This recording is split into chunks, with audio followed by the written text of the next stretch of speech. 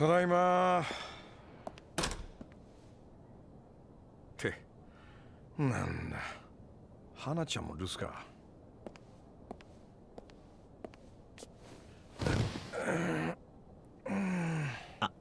あのー、えちょっとちょっと何あんた？ちょっとってもう2時間以上ここで待ってたんですけど誰もいなくて。お店の人ですよね。ああそうですけど？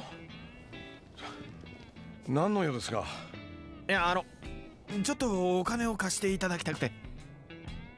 はあもう困ったな実は今ねこの神室町の本店は花ちゃんっていうジムいや秘書か。まあその女の子に経営を任せてましてね。私の一存で自由にお金を貸すわけにはいかないんですよ。あああそうですか。弱ったな。で一応聞くけどいくら必要なの？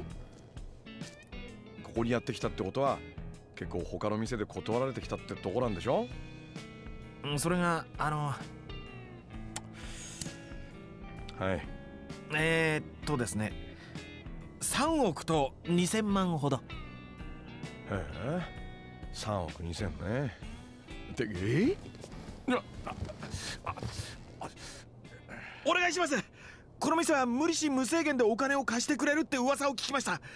2000万は後でもいいんですそれよりもどうしても今日中に3億円用意しないと大勢の人の命が。大勢の命？とにかく俺を信じて3億円貸してください。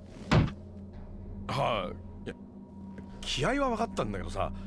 いやそんな大金何に使う気なの？あさって日本ドームで開かれるあるアイドルのメジャーデビューコンサート。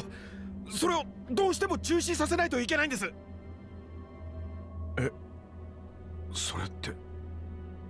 コンサート中止のためのイベント会社に支払う違約金3億円。俺に貸してください。